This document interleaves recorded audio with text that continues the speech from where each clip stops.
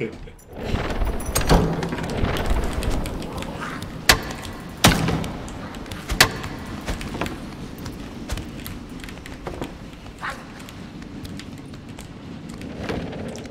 just switch his weapon?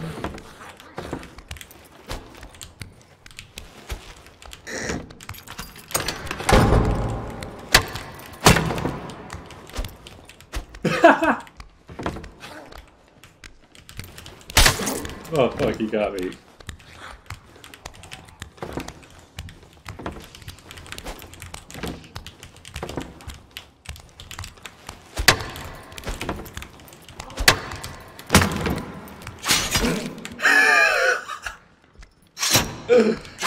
Yo, oh, oops, I walked on the same trap. I really just killed this guy with a flute.